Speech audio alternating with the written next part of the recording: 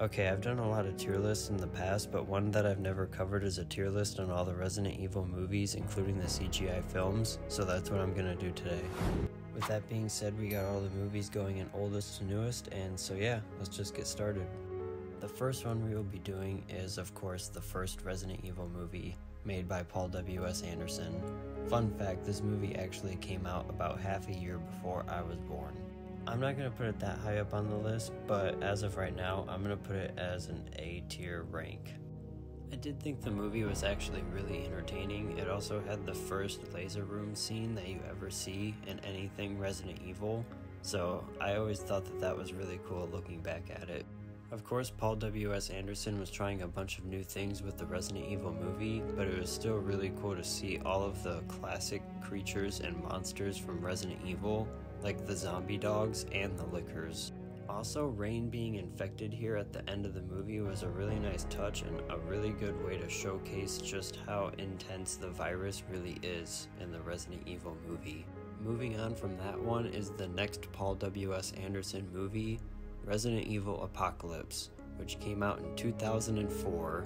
And for this one, it was always one of my favorites, so I knew when I made this that it was going to go right at the S tier rank. Resident Evil Apocalypse was truly faithful to the video game series, in my opinion, with them including Nemesis and Jill Valentine in the movie was a really nice touch and made it very entertaining to watch. I also like all the subtle little details that they put in the movie, like showing Jill walking into the RPD and including the Golden Lugers from Code Veronica X. Jill Valentine, not only in her introduction to this movie, but throughout the entire movie, was such a badass, which is really cool to see because usually Alice is the only one that gets the spotlight in these movies. Speaking of Alice, the next one we'll be moving on to is the movie that had about a thousand Alices in it. That's right, I'm talking about Resident Evil Extinction from 2007. I actually enjoyed the movie very much, so I might actually end up putting it higher up than the B rank, but for now I'm just gonna leave it there. The movie being completely set in a rundown Las Vegas, Nevada, gave it a really cool kind of atmosphere and eerie touch to the movie that I thought stood out and was very unique. Not only that, but the introduction to the character Kmart was a really nice touch as well, Actually, as a matter of fact, I used to think Kmart was a older version of Sherry Birkin when I used to watch this movie as a kid. Also, the introduction to Claire Redfield was really awesome to see as well because she wasn't really used as much of a prominent character in the Resident Evil video games. So it was really nice to see Paul W.S. Anderson kind of give Claire Redfield some credit here and make her look pretty badass in not only this movie, but in the future Resident Evil movies as well. And of course, this was the first movie with Wesker in it who ends up becoming reoccurring. But moving on from that, coming in next, we have one of my favorites Resident Evil Degeneration from 2008. Now, I don't know if this one will start stirring any controversy or anything, but I always enjoyed this one, mainly because it came out at around the time that I just started getting into Resident Evil, and my first introduction to Resident Evil would have been Resident Evil 2. So, having a movie like this where you get to see Claire and Leon partnering up together throughout the whole movie was actually really cool to see. So, any fan of RE2 or any fan of Leon and Claire for that matter will probably end up enjoying this movie. I knew right from the start when making this tier list that Resident Evil Degeneration was going to go up in my S tier rank I don't think I'm gonna put it above Resident Evil Apocalypse, but I might end up doing some moving around afterwards, so we'll see. This movie went on to actually portray Claire Redfield and Leon Kennedy really well, in my opinion. Not like some of the other future CGI films that they made, but we'll be getting to those later. So, I'm gonna be putting Resident Evil Degeneration on my S tier rank, and we will be moving on to Paul W.S. Anderson's Resident Evil Afterlife from 2010. I'm putting Resident Evil Afterlife right up on the S tier rank.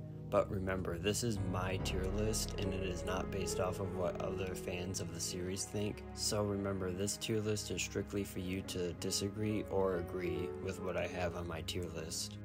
I'll definitely be keeping Resident Evil Degeneration up there on the S tier, but Resident Evil Apocalypse and Resident Evil Afterlife are by far my favorite Resident Evil movies ever made. I like the idea that the zombie apocalypse had been progressing and that had been going on for so long now that they had to resort to using actual coins for ammo. Also, I've always been a huge fan of Resident Evil 5, so them including the Ganado type of enemies and also the Executioner along with Chris Redfield made this a really enjoyable movie for me. I didn't exactly care so much for the 3D part of it, but I did watch it in the movie theater. It was actually my first Resident Evil movie that I have ever seen in the movie theater. With that being said, Resident Evil Afterlife has always had a special place for me, and I remember leaving that movie theater at about 8 years old being very satisfied with what I had just watched. Alright, moving on though is Resident Evil Damnation from 2012. Resident Evil Damnation I will go ahead and put in the A tier rank. I do actually like the movie a whole lot. I haven't watched it as many times as uh, most other of these Resident Evil movies actually, but for what I have seen of this movie, I actually do think that it is a really good one. It has a lot of good gory scenes, and it has a really good final fight with a super tyrant. This movie is actually the only CGI film that they did that includes Ada Wong in it, which is a huge missed opportunity because she was always a super badass character, even in the video games. So with that being said, I'm gonna go ahead and put Resident Evil Damnation in the A tier rank. And now that I'm thinking about it, I'm actually gonna move Resident Evil Extinction up to the A tier rank as well, just because I've seen Resident Evil Extinction a lot more times than Damnation, and I do like it, so I think it deserves an A tier rank as well. Okay, moving on now, we have Resident Evil Retribution from 2012. As you can see, I eagerly placed this movie in the C tier rank, and that's saying something because I actually saw this movie in the movie theater as well. This is the first movie out of all of Paul W.S. Anderson's movies where you have to just look around and just question what's going on. He usually doesn't just throw around all of the Resident Evil characters into one movie, but this one felt like that. So now this one has the evil Jill Valentine, and it also has Ada Wong in it as well. This movie also, for the very first time in a Paul W.S. Anderson movie, features Leon Kennedy and Barry Burton. And not to give away any spoilers if there's anybody that actually wants to watch this movie and hasn't yet, but Barry Burton goes on to end up dying, which is like, what? Okay, now Barry Burton is dead? That makes no sense at all. Like I said previously with Resident Evil Extinction, I really like the atmosphere that Paul W.S. Anderson gave off in that movie with the Las Vegas, Nevada kind of desert feel. But for this movie being set in Russia, just did not really come off as a good atmosphere or anything that really caught my eye as a fan. As someone who's watched all the Resident Evil movies, this one was by far my least favorite one that was made by Paul W.S. Anderson. Therefore, I will keep it in the C tier rank. But moving on from that one, we now have the final Paul W.S. Anderson movie, which is Resident Evil The Final Chapter from 2017. I put Resident Evil The Final Chapter in the B tier list, and I actually think that's a pretty good spot for it considering how I feel of the movie. See, I actually thought the movie was pretty good. It had Wesker's death scene in it, and it also had the return of the laser room, which was first featured in the first Paul W.S. Anderson movie. It also showed them returning to Raccoon City, of course, way after the bomb had already hit, but it was just really cool to see the actual destruction of Raccoon City because this was the only time we ever got to see the aftermath of it. All of those things said, I remember being very sad to know that this was going to be the final Resident Evil movie made by Paul W.S. Anderson, hinting why it was called The Final Chapter. But with that being said, I felt like they could have delivered a way better final conclusion to the entire Alice story. This is definitely a movie that I will be confidently leaving in the B tier list from now on. So, with that being said, let's move on to the next Resident Evil movie. It is Resident Evil Vendetta from 2017. I'm gonna put Resident Evil Vendetta in the C tier rank, which I might get a lot of hate for, but maybe if you guys just hear me out, then some of my points might get through to you. ultimately, I think Resident Evil Death Island is probably the better version of Resident Evil Vendetta, in my opinion. But it was pretty cool to see some of these scenes where Leon and Chris kind of just group up and become a badass unit together. But other than that, there's definitely some scenes where this movie has some flaws. I think they definitely didn't portray Rebecca Chambers that well in Resident Evil Vendetta. And some of the scenes like that with Leon just kind of letting two cars crash into each other and killing civilians was just like kind of hard for me not to laugh at while watching this movie. And I know that's not enough to say that, oh, this movie sucks, but some things like that kind of take away some of the credibility for those movies for me. I don't know, take that with what you will, but I'm definitely gonna go ahead and put that at the C tier rank. But I will go ahead and put it above Resident Evil Retribution, so I'll keep it at the top of the C tier rank. Because, like I said, I did enjoy watching the movie, but it's got some flaws here and there. We are now at the final four, but moving on to the next one we have is Resident Evil Infinite Darkness from 2021.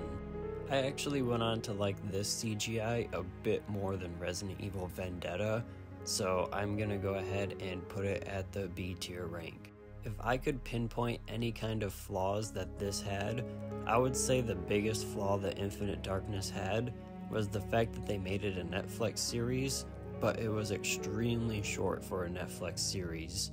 It was like barely the length of a movie at that. So, Infinite Darkness only had one season and only had four short episodes. But other than that, the story that it provided was really interesting, and I really liked the idea of filling in the gaps because this was supposed to be after Resident Evil 4, but before Resident Evil 5. And again, you're speaking to a true RE2 fan, so anything that has Leon and Claire in it working together is always something that I am going to be down to watch any day. I only actually sat through and watched it once, but for what I remember seeing, I actually enjoyed it a lot, so I am going to go ahead and keep it at the B tier rank. When it comes to the future Resident Evil films, they should just stick to doing CGI films because it seems that most of the fans seem to prefer that anyways, and I can definitely say that I am one that prefers CGI films. Moving on to the next one, which is already where it belongs in the D tier rank, is Resident Evil Welcome to Raccoon City from 2021. I mean, it's quite obvious why I put this one in the D tier rank I don't think there's really anything good about this movie that I could talk about. The merging in between Resident Evils 1 and 2 and trying to put them into one movie was just one big hot mess. And don't even get me started about how they failed at casting the certain actors to play the roles of these iconic Resident Evil characters. I feel like most fans of Resident Evil will agree with me when I say that Welcome to Raccoon City was quite possibly the worst Resident Evil movie we have ever seen. But next we have another D tier contender, and that is Resident Evil's The Netflix series from 2022. This is another one where I wouldn't be very surprised if most people agree with my D tier spot for Resident Evil's Netflix series. The way that they incorporated the Resident Evil enemies and monsters into the Netflix series was actually not bad at all on their parts, but their decision in casting Wesker was definitely a bit unique. No offense to anyone, but I don't know how they were able to pass this guy off to us and be like, yep, this is Albert Wesker, deal with it. Not only does he not look or act anything like the Albert Wesker that we know, but as far as we knew, Albert Wesker did not have any daughters whatsoever. And the strangest part about all of this is that wasn't Albert Wesker supposed to be dead anyways? The Netflix series might have had more of a chance of success if they would have just had all new characters altogether instead of trying to have Wesker in it for some reason.